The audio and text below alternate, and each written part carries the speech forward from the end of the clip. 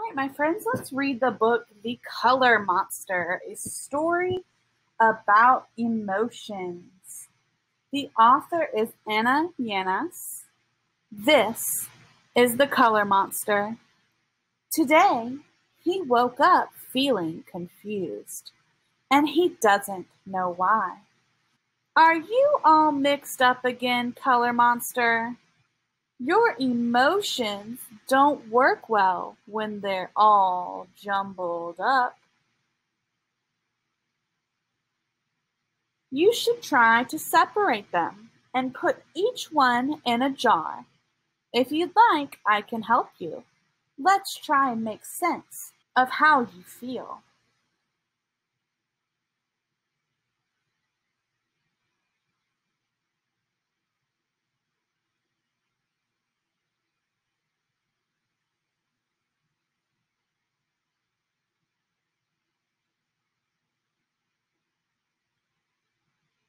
This is happiness. It shines yellow like the sun and twinkles like the stars.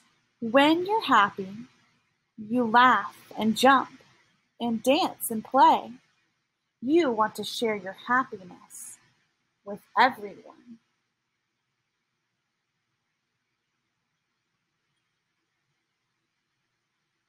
This is sadness. It's lonely and blue like a rainy day. It washes over you like the sea.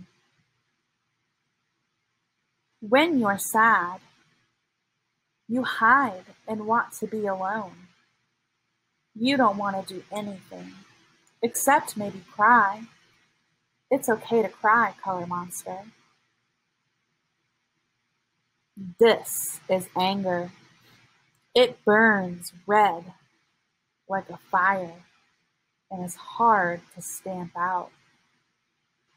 When you're angry, life can feel unfair.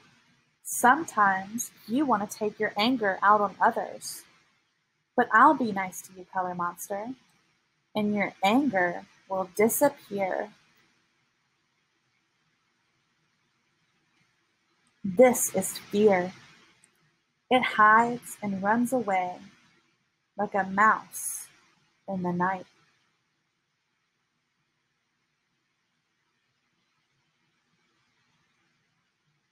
When you're afraid, you feel tiny. You think you don't have the courage to face the gray shadows. But I can help you find your way. This is calm. It's quiet like the trees and as light as green leaves swaying in the wind.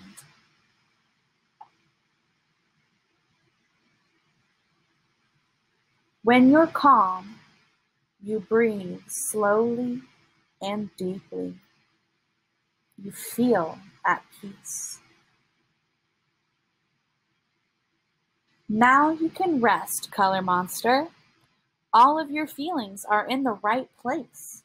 See? Don't you feel much better?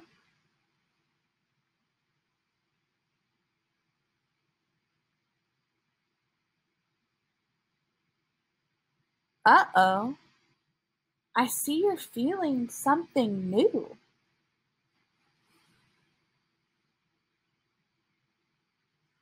You look different, Color Monster. Tell me, how do you feel now?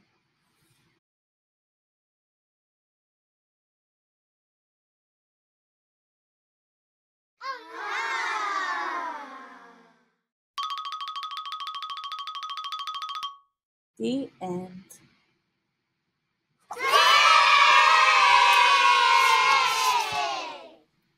Right, friends, let's make a color monster. You're going to start out with your big piece of white paper and Mrs. Belly. Remember, when we use Mrs. Belly, her hat twists off, doesn't pull off. You need to twist her hat to take it off.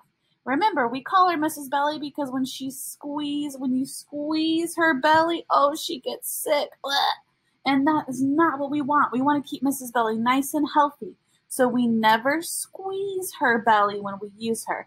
We just hold her gently, turn her head to the paper, and she will create beautiful drawings for us. When we're making our color monsters, there's a few things we need to think about. Color Monster's face, we look at our book, has a couple of elements of art. He has some zigzag lines for his face, some circles for his eyes, some sketch marks like this for his fur, which is texture. So we're going to be using lines, shapes, and textures to create our color monster. If you remember in the story, Color Monster starts out confused. There he is. Oh no, he's got all the different colors on him, and he only needs one color. So we're going to draw Color Monster, and then we are going to paint him with the color that matches our own feeling. All right, let's draw our color monster. We're going to start in the top with two triangles for his ears. Then we're going to connect those triangles with a zigzag line. Little juts out here, then down, and down, and across for his head. He's got two little teeth, two circles for eyes, with two smaller circles inside. That's the start of our color monster. Oh, what are we forgetting? His eyebrows. There we go. Now let's draw his arms. Color Monster's arms come out and down. He's got a little hand.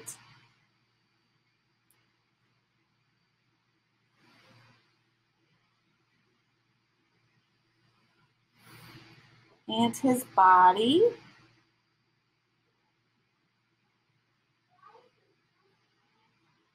We're just using a zigzag line.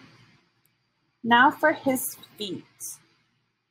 So we're going to draw two straight lines. Bring it over with some zigzag toes.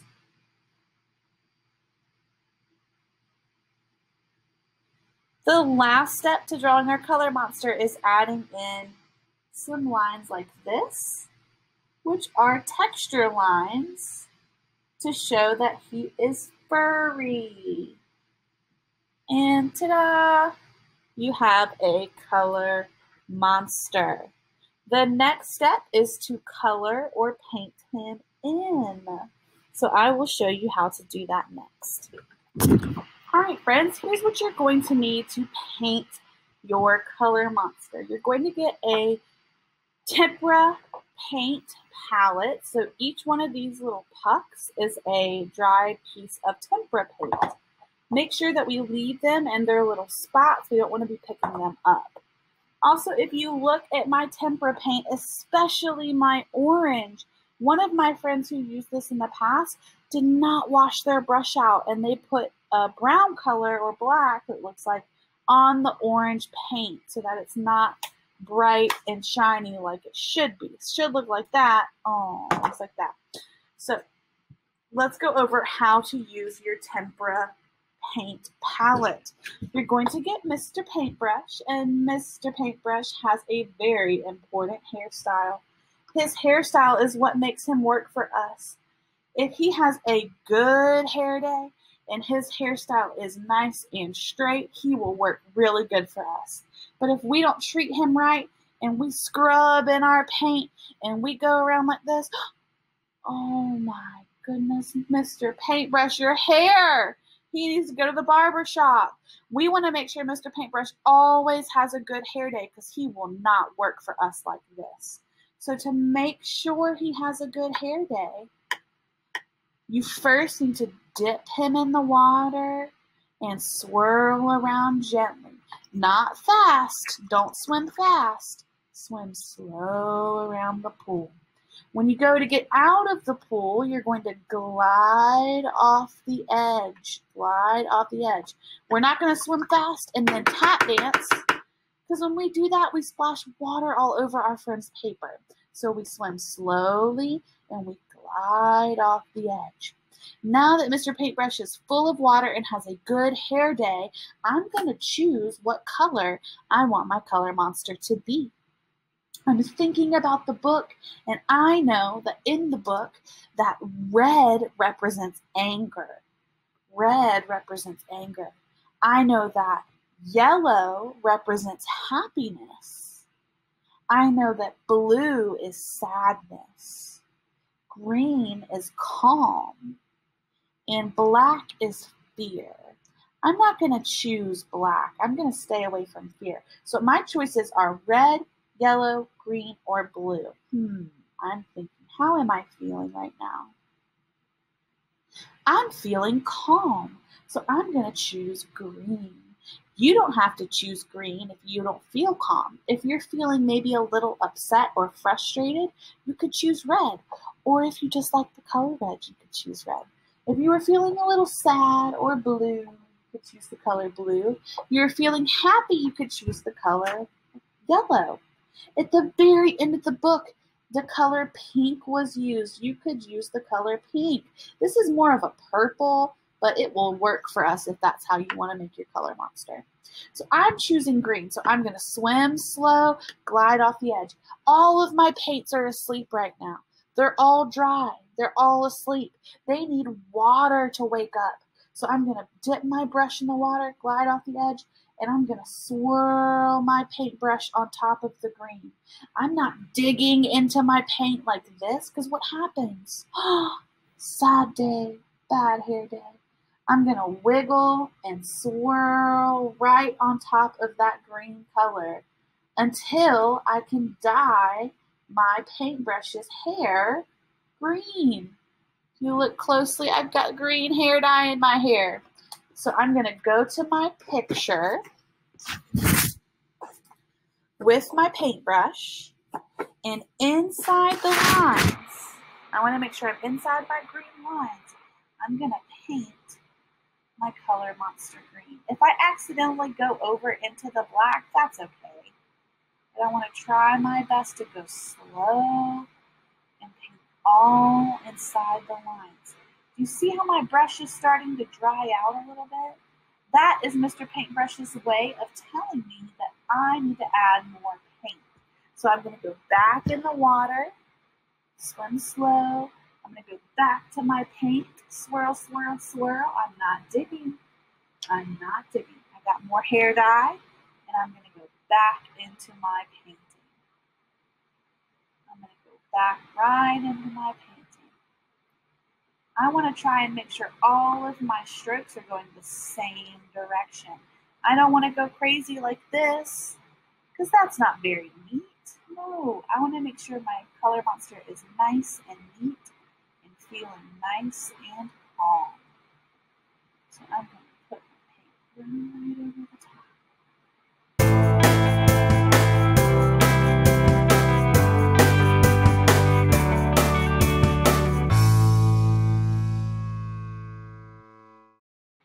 Once I am done with my head, my arms, and my legs, I'm going to paint my body green as well.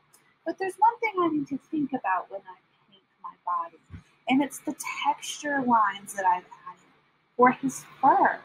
I want to make sure that I go around those texture lines as much as possible because what we used in the bingo dauber in Mrs. Belly is called India ink.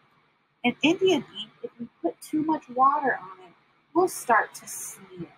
So we want to be really careful when we go and fill in our bodies because we want to make sure we're painting around those texture lines. You get a little bit on there, that's okay. But for the most part, we want to make sure we're painting around those texture lines.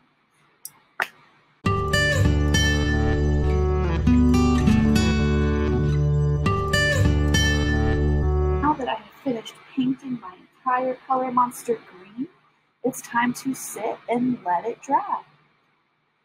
So I'll see you back once color monster is dry. Jack Hartmann! Kids Music Channel! Rock your body to the colors. Rock your body to the colors you see. Shake your head to the color red. Twist your shoes to the color blue.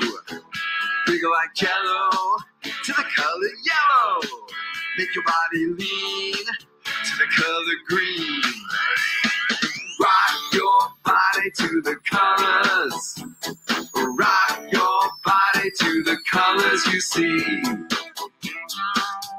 Touch your back to the color black.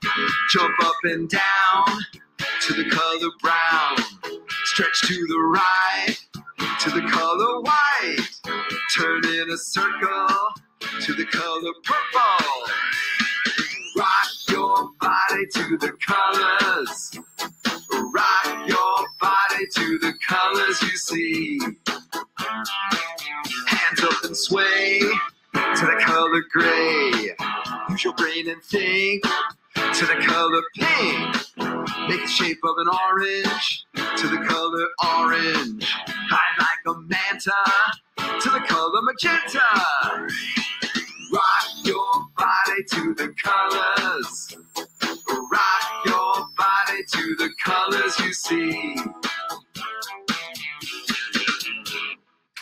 All right, friends, now that my color monster has dried, I can add in some texture and I'm going to use my oil pastels to add in some of those textures.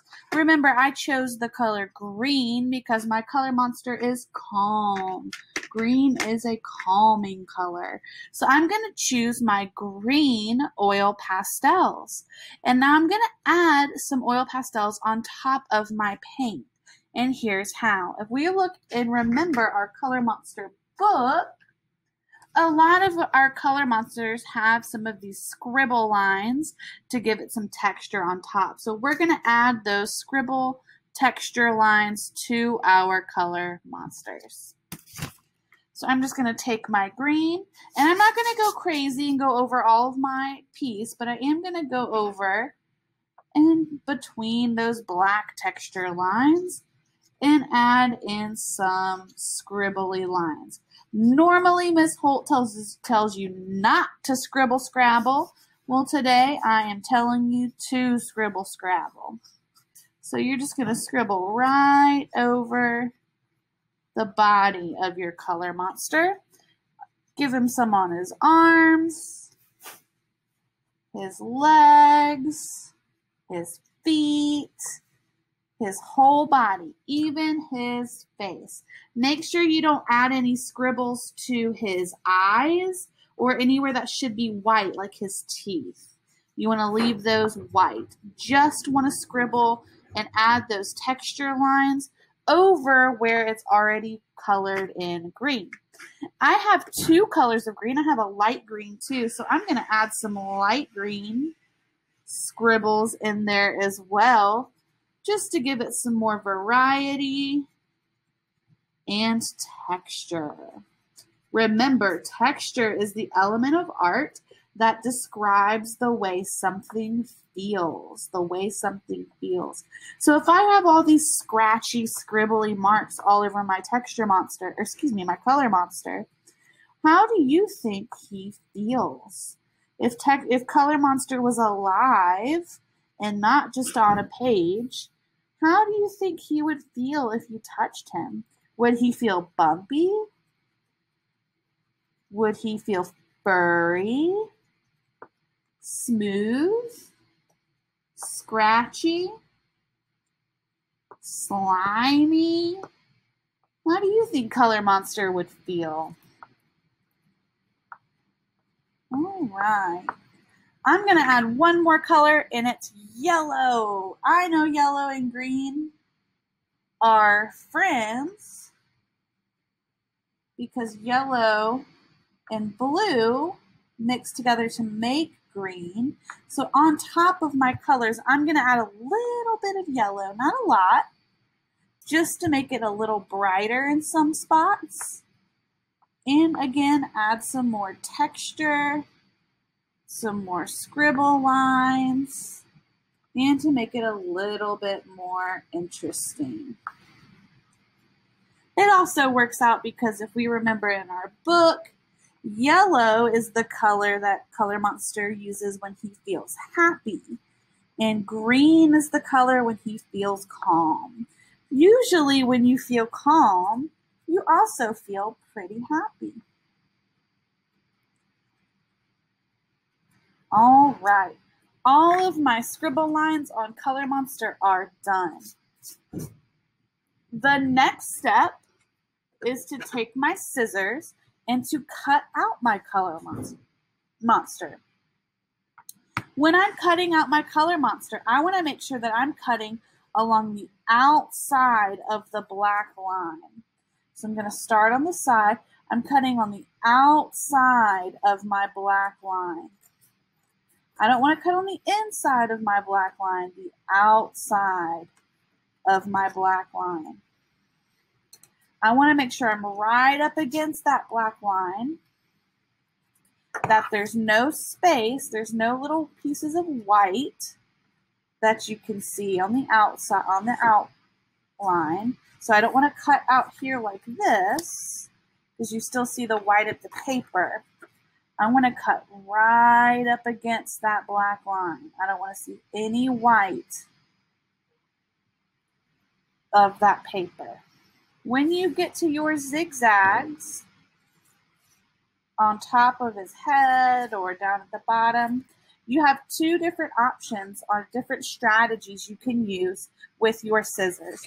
You can do it this way where you're turning your paper with your scissors back and forth to cut out the zigzags. That is one strategy you can use. Or you can use a strategy where you cut down to the middle of that zigzag and then you come in on the other side and cut down to the middle there and let that fall. So whatever is more comfortable for you, that's what you should do. Those are just two different cutting strategies you can use.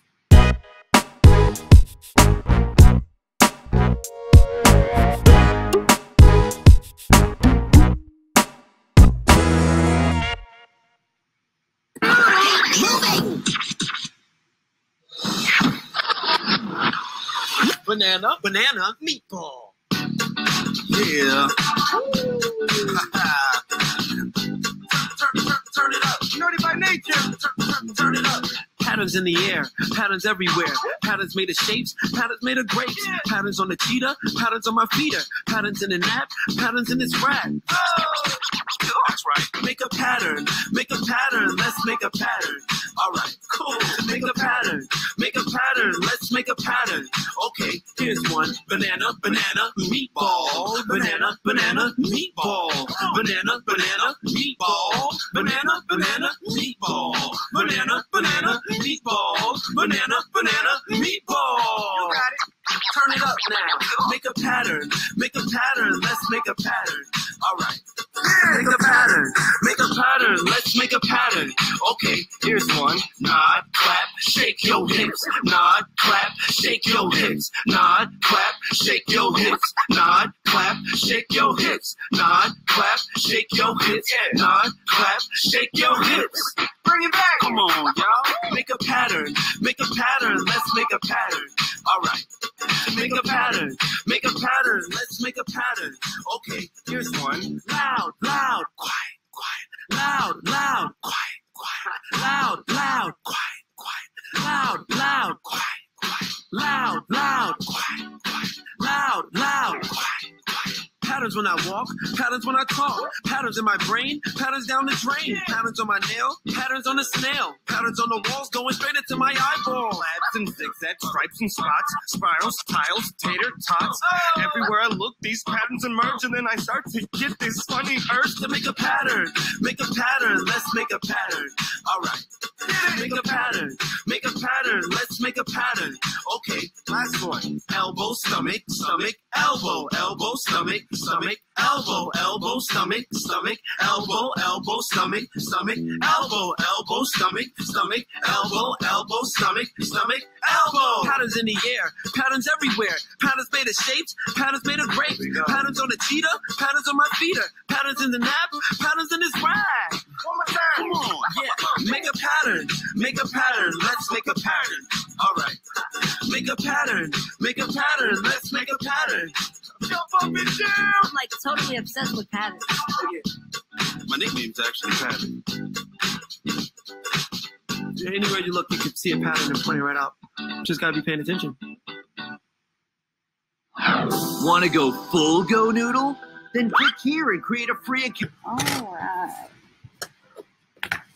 Now my color monster is cut out of my paper and I'm ready to glue him down on a different piece of background paper.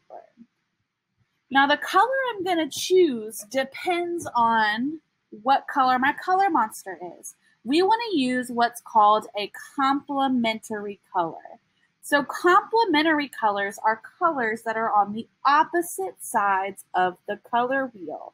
So if you think about what a color wheel looks like,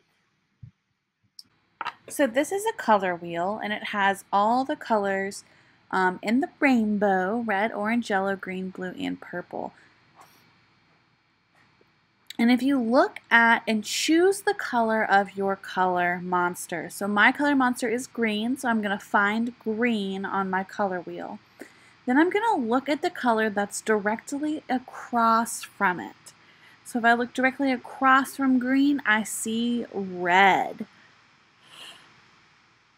I know that green and red are complementary colors. Complementary colors complement each other and make each other look brighter when they are next to each other. They also make brown if they're mixed together. So if your color monster was yellow, you're going to look across from yellow and you'll see that purple is yellow's complementary color. If you chose blue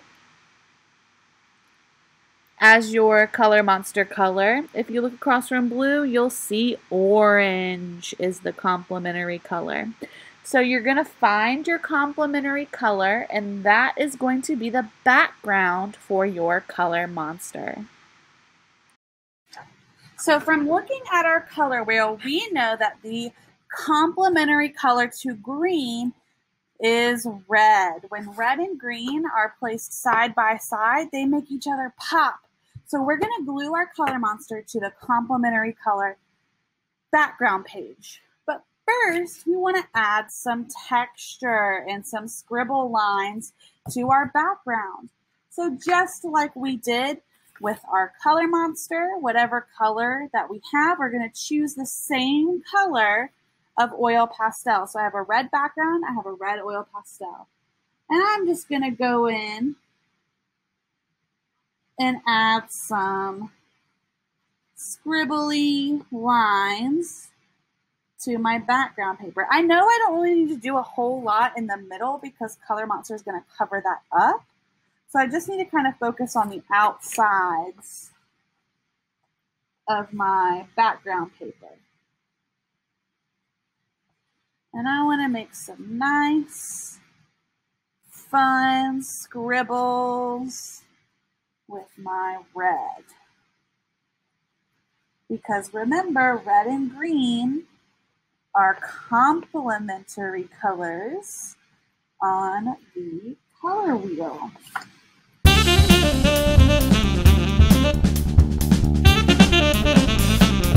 My very last step is to take my glue stick and glue my color monster down to my background. Gonna roll Mr. Glue Stick out of the house just a little bit.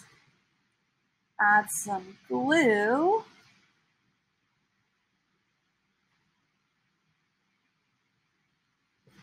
around the outside, up in the ears, where my zigzags are, down the arm, and some in the middle.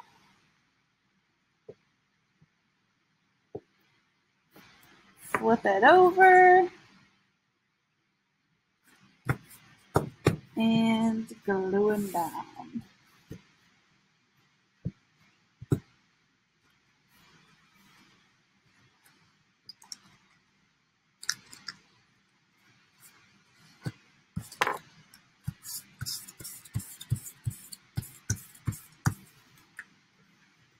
When I'm done, I should have a color monster that looks like this. Hope you guys enjoyed creating color monsters with me today and learning about emotions. We'll see you next time.